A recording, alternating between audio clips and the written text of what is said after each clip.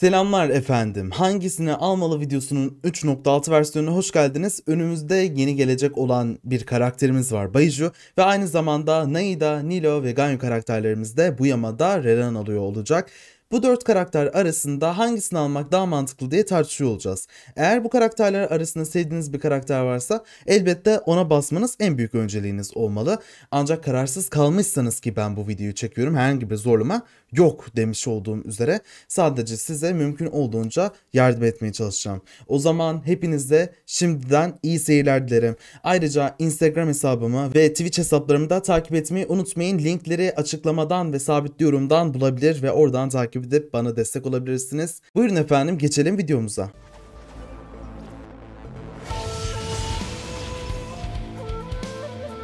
Öncelikle birinci fazımızda Nilo ile beraber Naida karakterlerimiz Reran alacak ve 12 Nisan sabahın köründe karakterlerimiz oyuna eklenecek. Şimdi Naida ile beraber Nilo'dan önce ben Naida ile beraber devam etmek istiyorum. Naida gerçekten oyunda elde edebileceğiniz en verimli doğa karakteri. Üstüne yok. Neden üstüne yok?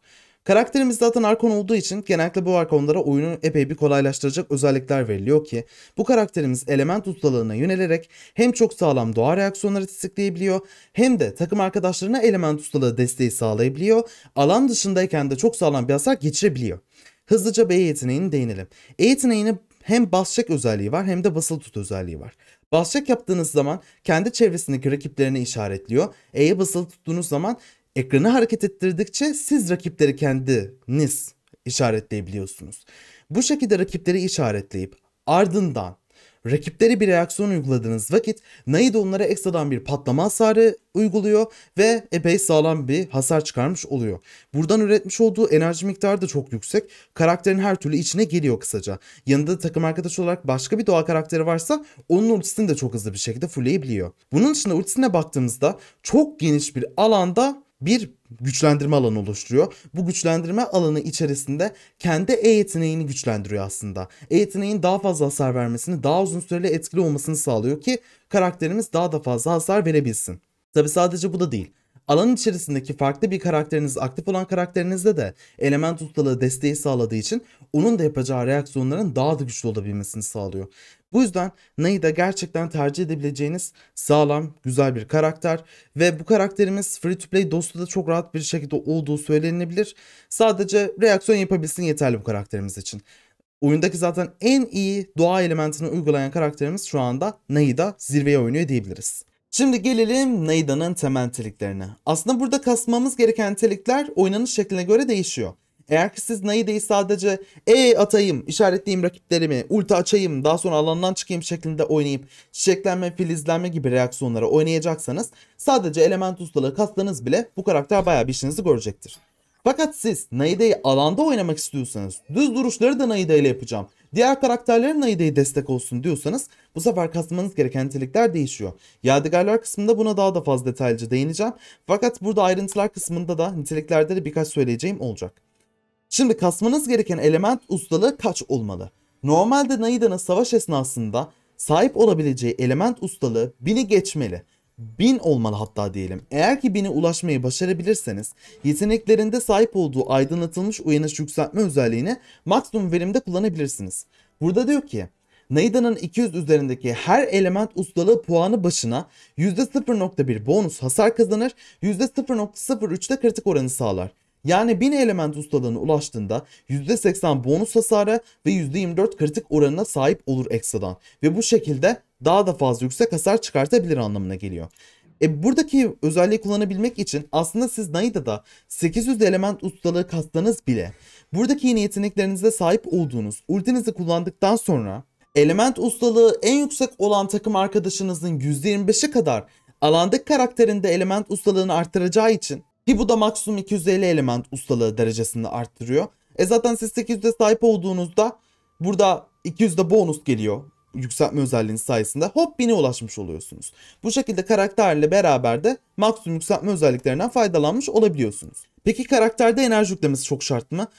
%30 enerji yüklemesi kastığınızda karakter için fazlasıyla yeterli oluyor çoğu durumda.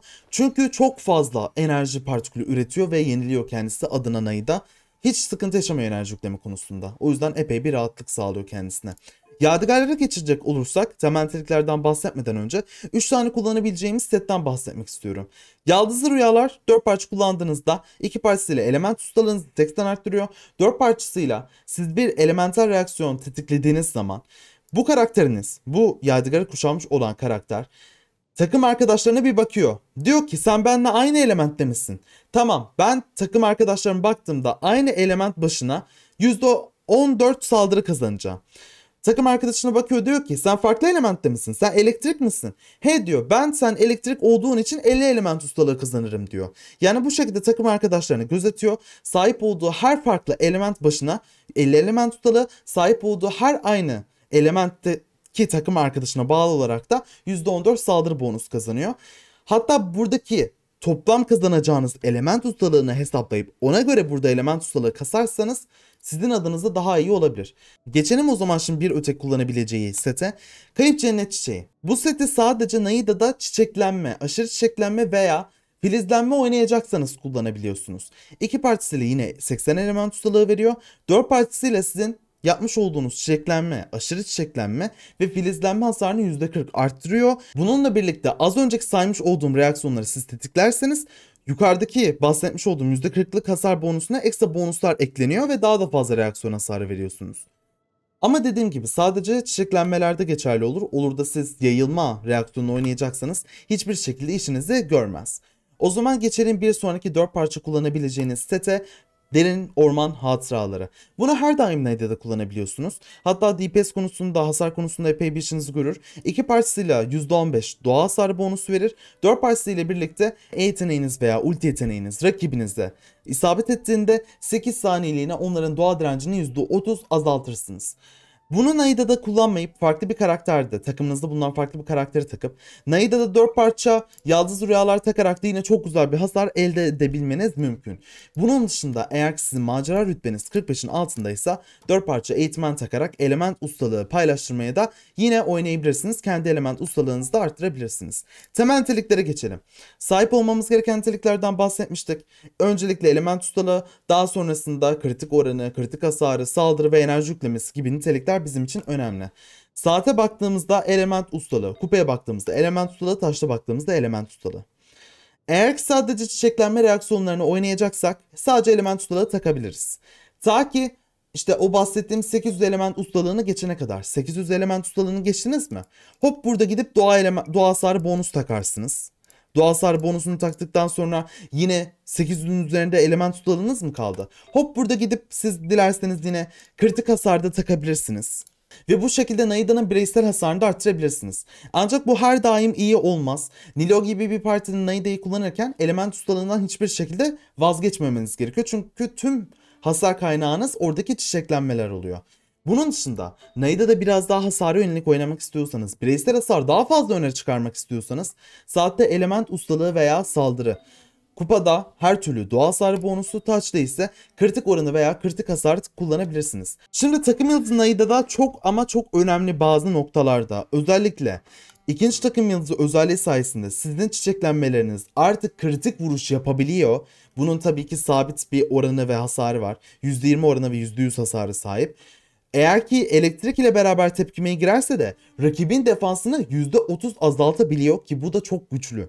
Siz hangi takımla oynarsanız oynayın. Naide ile beraber bir tepkimeye sokabiliyorsanız eğer ki sahip olduğunuz karakterlere her türlü takım yıldızı iki işinizi görür. Hatta silahtan önce takım yıldızı ikiye bile yönelebilirsiniz. O derece değerli bir özellik. Bunun dışındaki en önemli özelliği takım yıldızı 6. Artık burada Naida'nın şöyle bir olayı oluyor bireysel hasarını o kadar fazla arttırıyor ki siz rakiplerinizi E ile beraber işaretledikten sonra onlara vereceğiniz hasar patlamalar şeklinde oluyor. Ardışık hasarlar veriyor ve artık orada vereceğiniz hasar Naida'nın %200 saldırısına ele alıyor ve Naida'nın sahip olduğu element tutalının %400'ünü ele alarak ekstradan bir doğa hasarı veriyor. Bu sayede bayağı sağlam bir hasar çıkarmış oluyor E yeteneğiniz takım yıldızı 6 özelliğiyle beraber. Oyundaki en güçlü takım özelliklerinden birisi. En güçlülerinden. Aklınızda bulunsun. Silah konusunda sıkıntı yaşarım diye düşünmeyin. Demirciden gidip deniz haritası ürettiğinizde niteliğinden yine size element ustalığı vereceği için aynı zamanda siz tepkimi gerçekleştirdikten sonra element hasarı bonus da vereceği için Naida'nın aslında bayağı bir işini görüyor diyebiliriz. Bunun dışında tabii ki karakterde siz En iyi seçenek olarak kurban kanunları da takabilirsiniz. Alan dışındayken çok harika bir şekilde iş görüyor ve element ustalığı yine alt niteliğinden verdiği için çok güzel iş yapıyor. Ayrıca yeteneğinizi ardarda arda kullanabildiğiniz için ise Diyelim ki rakipleri işaretlediniz ama o rakipler öldü yeni dalga geldi. Hop bu silah sayesinde bir daha onları da işaretleyebiliyorsunuz seri bir şekilde. Zaman da kaybetmiyorsunuz. Bayağı bir işinize yarıyor. Bunun dışında siz kullanmak isterseniz karakterde bireysel hasara odaklanmak isterseniz Kagura'nın hakikati Naida da çok iyi bir şekilde çalışıyor. Sürekli yeteneğiyle beraber hasar verdiği için pasifini çok hızlı bir şekilde destekleyebiliyor. Ya da gidip Göcebe'nin nota kitabını takıp yine Naida ile beraber alına geçtiğinizde yüksek baslar bonusu elde edebiliyorsunuz. Yine kendi silahını çıkaracak olursanız takımı açısından güzel olabiliyor. Element ustalığı da ufaktan paylaştırıp kendisini de bonus kazandırabildiği için. Geçelim bir sonraki karakterimize yine ilk fazla bulunan Nilo'ya. Nilo aslında tasarımı çok hoş olan bir karakter fakat takımı o kadar fazla kısıtlı ki koyabileceğiniz karakterler epey bir az. Peki neden? Karakterimizin en önemli bir noktası var. O da şu ki bu karakterimiz doğa çekirdeği yerine yani çiçeklenme reaksiyonunda doğa çekirdeği düşüreceğine bereketli çekirdek düşürüyor.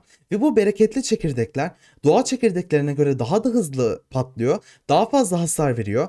Elektrik ve ateş gibi elementlerle reaksiyona girmiyor. Nilo kendi kasmış olduğu cana göre rakiplerine bu reaksiyon ile beraber hasar veriyor. Tabi sadece Nilo'ya özel bir reaksiyon olduğu için Nilo'suz bu reaksiyonu da kullanamıyorsunuz aslında. Güzel bir özellik, farklı bir içerik atmış oluyor oyuna. Fakat bu özellik sadece takımında doğa ve su karakterleri bulunuyorsa çalışıyor. Ekstradan siz bir elektrik veya bir ateş karakteri koysanız bile o özellik çöpe gidiyor. Bu yüzden Nilo'nun takım kurmaları birazcık kısıtlı. Karakterin E yeteneğine bir bakalım isterseniz. E yeteneğinin iki farklı kullanım şekli var. Eğer ki son vuruşu E yeteneğinizle beraber bitirirseniz karakterinizin etrafında bir su haresi oluşuyor ve bu su haresi etrafındaki rakiplerinize daha çok su uygulama amacıyla kullanılıyor zaten hasar vermekten ziyade. Eğer siz E yeteneğinizi düz vuruş ile beraber bitirirseniz bu sefer Nilo'nun düz vuruşları artık su hasarı vermeye başlıyor ve bu esnada yüklü saldırı gerçekleştiremiyor.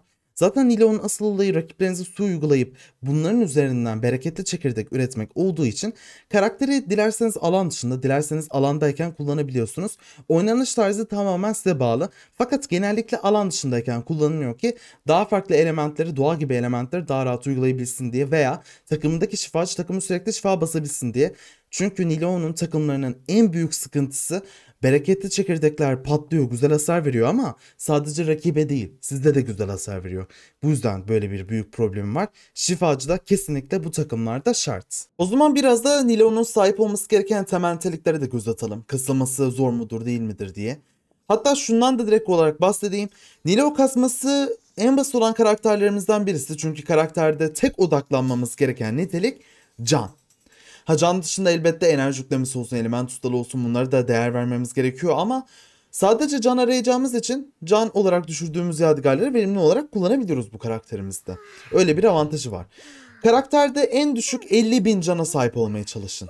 Ve karakterin seviyesini ne kadar yüksek tutarsanız doğal temelli reaksiyonlar yaptığı için o kadar iyi oluyor. Bu yüzden mümkünse 90 levele çıkarmanız sizin açınızdan fayda sağlayacaktır. Enerji yüklemesi abanmanız çok da şart değil.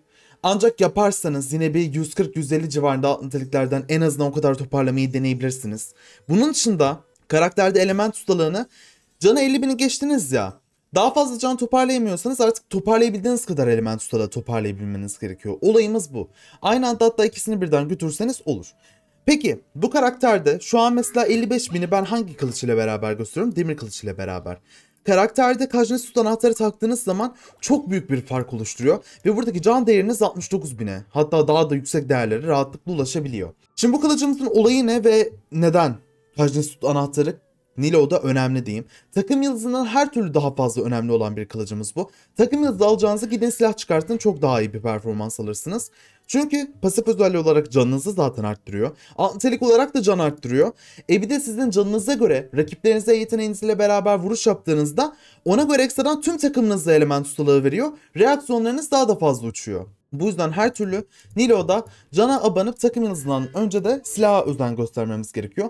Fakat burada demir kılıç yine demirciden üretebildiğiniz en kullanışlı kılıçlardan birisi. Yani free to play konusunda çok rahat olduğunuz bir karakter aslında Nilo. Kılıç konusunda özellikle. Takım konusuna birazdan daha detaylı değiniyor olacağım. Şimdi bu karakterde ne set katmamız gerekiyor peki? 4 parça kayıp cennet çiçeği şu an kullanabileceği en iyi set.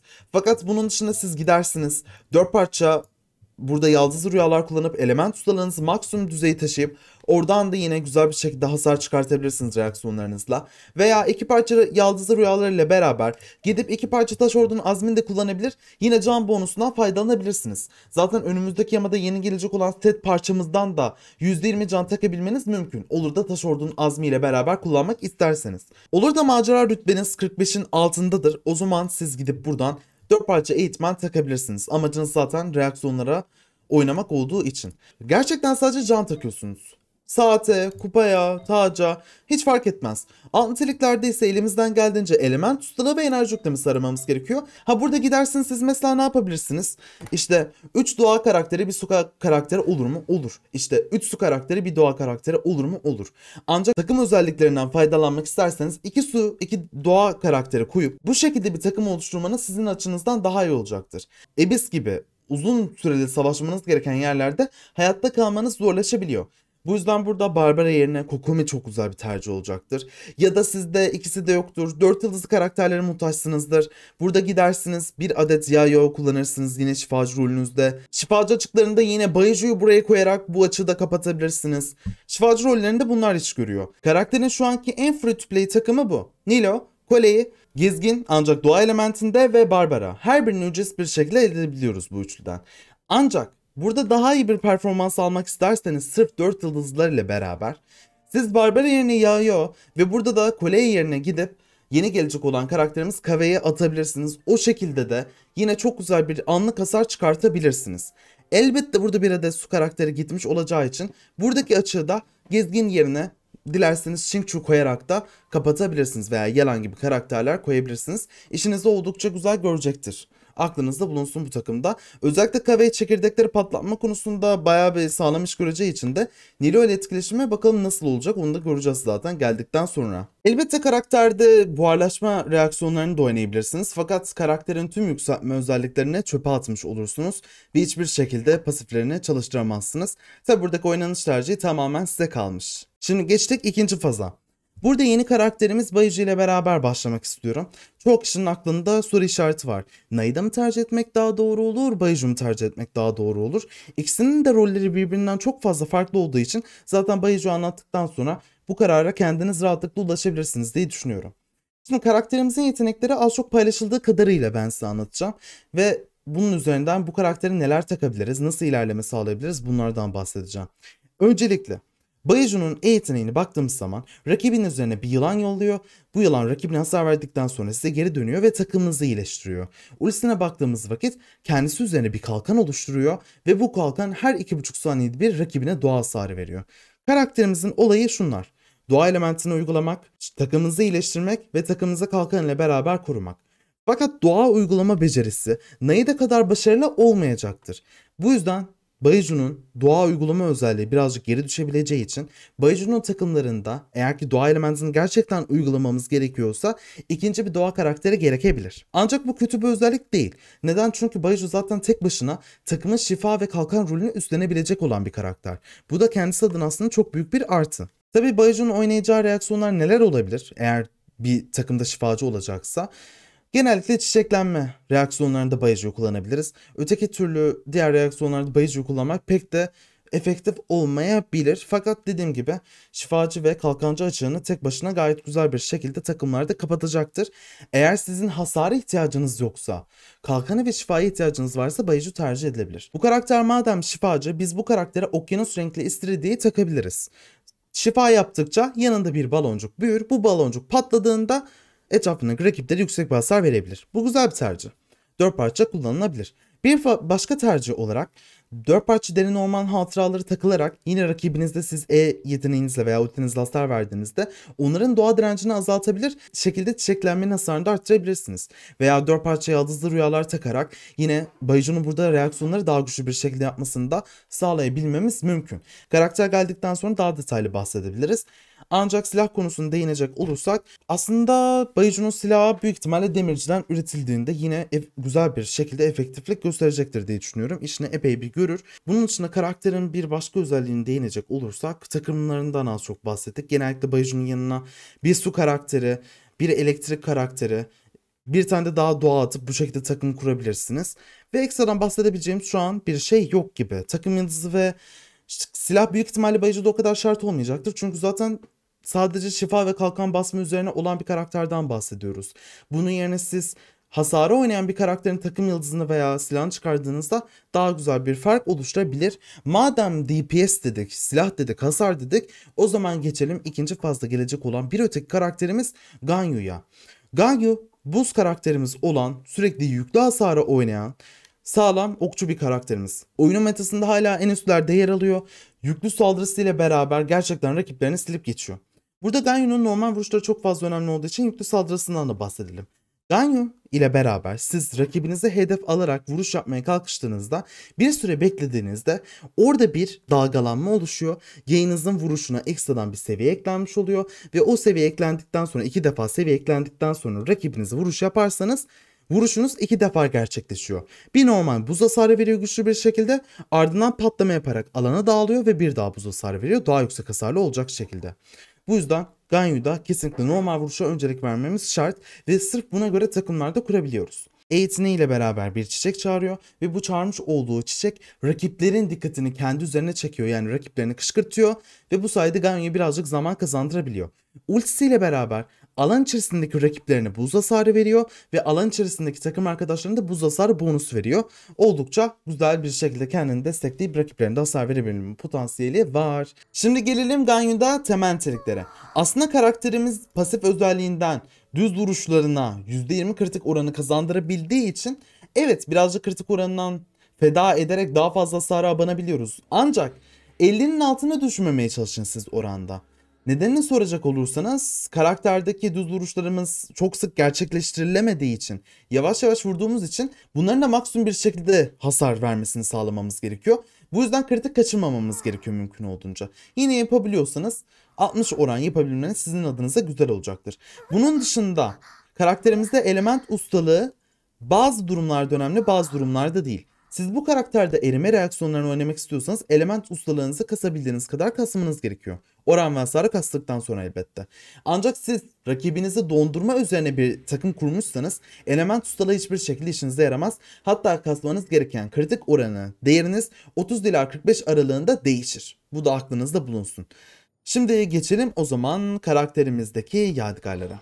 Yine iki farklı build seçeneğimiz olduğu için iki farklı öneride bulunacağım. 4 parça göçebe kumpanyası kastığınızda 80 element ustalığı veriyor. Bu sayede erime reaksiyonlarınız daha fazla vurur. 4 parça özelliğiniz sayesinde eğer ki karakteriniz katalizör veya yay kullanıyorsa buradaki yapmış olduğunuz yüklü saldırılarınız %35 daha fazla hasar verir. Ki bu da Ganyu için oldukça önemli. Çünkü karakterimiz zaten yüklü hasarı oynayıp duruyor. Peki bir öteki set önerim ne olurdu? Eğer ki rakibinizi dondurma üzerine oynuyorsanız burada siz gidip 4 parça kış gezgini takabilir. 2 parçasıyla beraber %15 buz hasarı bonusu, 4 parçasıyla beraber de eğer ki rakipleriniz buzdan etkilenmişse %20 kritik oranı veriyor yeteneklerinizde ve vuruşlarınızda. Eğer ki rakibiniz donmuşsa %40 kritik oran bonusu veriyor yeteneklerinizde ve vuruşlarınızda. Bu sayede kritik kaçırma ihtimaliniz epey bir azalıyor. Bu yüzden bu seti kuşanıyorken kasmanız gereken kritik oran miktarı azalıyor. E geçelim o zaman karakterimizdeki temel niteliklere ve temel niteliklere geçmeden önce eğer ki sizin macar rütbeniz 45'in altındaysa bu karakterde gidip siz iki parça vahşi savaşçı iki parçada gidip cesur yürek kasabilmeniz mümkün. Saldırıyı da arttırmak isterseniz. Geçelim o zaman temel niteliklere. Karakterimizde saatte saldırı veya element ustalığı takabiliyoruz. Eğer ki doğma üzerine oynuyorsanız her türlü saldırı olmak zorunda element ustalığı iş yapmaz. Kupada her türlü buz hasarı bonusu, taşta ise kritik oranı veya kritik hasarı tercih ediyoruz. Peki Karakterde takım yıldızı mı daha önemli olur yoksa karaktere 5 yıldızlı bir silah mı çıkarmak daha güzel bir fark oluşturur? Karakterdeki takım yıldızları 6'ya kadar çok fazla fark ettirmese de 6. takım yıldızı özelliği karakterin oynanış konusundan epey bir kolaylık sağlıyor. Çünkü E yeteneğinizi kullandıktan sonra artık sıradaki yapacağınız yüklü saldırının hiç beklemesine gerek kalmıyor. Yüklenmesi gerekmeyeceği için de direkt siz yayı elinize alıyorsunuz. oku çektiğiniz gibi fırlatıp maksimum yükteki hasarınızı verebiliyorsunuz. Bu yüzden takımınızda altı karakter hasarı açısından aslında oldukça önemli. Rotasyonları çok fazla hızlandırıyor ve anlık hasarını da öne çıkarmış oluyor ardışık saldırı yapabildiği için. Öyle diyeyim en azından. Ve silahlar konusunda da şunu belirtebilirim. Eğer ki 6. takımınızda özelliğini açamayacaksanız önceliğinize silah verip ardından takım yıldızına yönelebilirsiniz. Bunun dışında karakterde Yine demirciden üretebileceğiniz prototip Hilal inanılmaz güzel bir şekilde iş yapıyor. Rakibinizin zayıf noktasını bir defa vurup %72 saldırı bonusu elde edebiliyorsunuz kademe 5'te. Ve bunun dışında siz dilerseniz Yine demirciden öteki yayımız olan Hamoyume'yi de üretip kullanabilirsiniz. Ancak prototip Hilal'i daha çok öneriyorum ben bu konuda. Ve 5 yıldız silahlara bakacak olursak su sureti çok güzel bir şekilde işinizi görür. Sadece rakibin dibine girip vuruş yapmanız gerekir. Bunun dışında Amos'un yayı ile beraber ne kadar uzun mesafeden vurursanız o kadar fazla güzel işinizi görüyor ve daha fazla hasar veriyor. Ki vermiş olduğu saldırı bonusu zaten çok yüksek. Gidip yine siz yayında düşürüp Ganyu'da kullanabilirsiniz. Hatta bu yayı taktığınızda her türlü saat element ustalığı takın. O şekilde her türlü rakibinizi yok edip geçecektir zaten. Bu üç silahta karakterin potansiyelini epey bir fazla arttırıyor diyebiliriz. Göklerin ileri gitmez mi diyeceksiniz. O da girer elbette ama göklerin ileri daha çok sadece kritik hasarı ve kritik oran bonus sağladığı için ufak bir düzeyde. Sadece o amaçla kullanılıyor. Pasifi çok fazla efektiflik göstermiyor. Bu yüzden Ganya'ya diğer yaylar biraz daha uygun bir seçenek olacaktır. Kombomuzda ise Jolin'in kalkanı ile beraber başlıyoruz. Ganya'nın Ace'ini atıyoruz. Daha sonra Kazuya ile beraber bu rakibin direncini kırdıktan sonra Bennett'in ultisini yapıştırıyoruz. Kazuha'nın da ultisini atı veriyoruz. Rakibin üzerinde artık ateş etkisi var. Benim artık burada Ganya'ya geçip rakibimin üzerine ateş etkisi uygulandıkça yüklü saldırı gerçekleştirmem gerekiyor ki erime reaksiyonu ile birlikte rakibimi katledebileyim. Genellikle 4 veya 5 tane vuruş sığdırabiliyoruz buraya. Bu kombonuzu bitirdikten sonra aynı komboyu tekrardan yapmanız gerekiyor. Fakat burada Kaz Kazuha ve Bennett'in enerji yüklemeleri yetersiz kaldığı için maalesef bu komboyu yapmamız pek mümkün olmuyor. Bu da Ganyu'nun rotasyonlarında hasarının da düşüklüğe sebep oluyor. Bu yüzden yüksek enerji yüklemesi kasmanız şart Bennett ve Kazuha'da. Gelelim ufak bir değerlendirmeye. Aslında burada karakterleri seçmek biraz daha basit oluyor. Neden diyecek olursanız. Her biri farklı bir rolde oynuyor. Şimdi Naide'ye baktığınızda her bir role bürünebiliyor. Sub DPS olur, main DPS olur, destek olur fark etmez. Ganyo'ya bakıyorsunuz yine main DPS rolünde tercih ediliyor. Sub DPS olabildiği anlar da var. Nilo da yine aynı şekilde main DPS olabiliyor, sub DPS olarak da tercih ediliyor. Fakat takım kurumu fazla kısıtlı. Bayıcı'ya bakıyorsunuz diyor ki ben zaten şifacıyım, kalkancıyım, bana ihtiyacım varsa al diyor. Hani bu tarz bir durumda seçiminiz biraz daha basit olmuştur diye düşünüyorum en azından anlattıklarım kadarıyla beraber.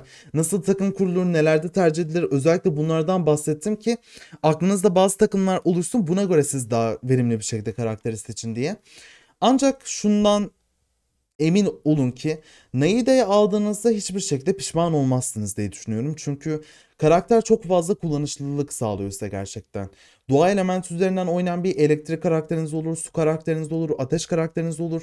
Bunları çok iyi bir şekilde götürüyor. Hatta Ganyu ile beraber Naide'yi kullanıp Naide ile beraber rakibi sürekli yakabilir. Ganyu'nun sürekli yine erime hasarı vurmasını da sağlayabilirsiniz. O şekilde katkısı var. O şekilde güçlü bir doğa etkisini uygulayabiliyor. Fakat bunun dışında gerçekten main DPS hasarına ihtiyacınız varsa benim ana karakterimin gerçekten hayvan gibi hasar vermesi gerekiyor. Ben onu her türlü desteklerim diyorsanız o zaman zaten Ganyu yönelmenizi öneririm. Fakat Ganyu'nun da işte kalkanı ihtiyacı olabiliyor. Kalkanını sağlam bir şekilde sağlamanız lazım. Korumanız lazım. Bunun dışında ha yok ben kısıtlı bir takım kurarım ama en free to play olan karakteri istiyorum. Hiçbir şey sıkıntı olmasın. Her ücretsiz kullanabildiği şey yine en güzel veriminde olsun diyorsanız Nilo çok iyi bir şekilde işinizi görecektir. Silah free to play yine çok güzel bir seçenek. Karakterler yine aynı şekilde geri doldurulabilir kısıtlı olsa bile. Fakat farklı bir içeriği var en azından. Farklı bir reaksiyonu var kendisine özgü. Ha yok bana şifacı lazım diyorsanız alın bayıcıyı geçin zaten mantığında oluyor bu birazcık. O zaman şimdilik paylaşacaklarım bu kadar. Peki siz bu gelecek olan karakterlerden hangisine basmayı şu anda planlıyorsunuz? Hangisi daha çok ilginizi çekti? Yorumlarda belirtirseniz çok sevinirim. Hepinize izlediğiniz için teşekkür ederim. Lütfen videoyu beğenmeyi ve kanalda abone olmayı unutmayın. Sıradaki videolarda görüşmek üzere. Sağlıcakla kalın.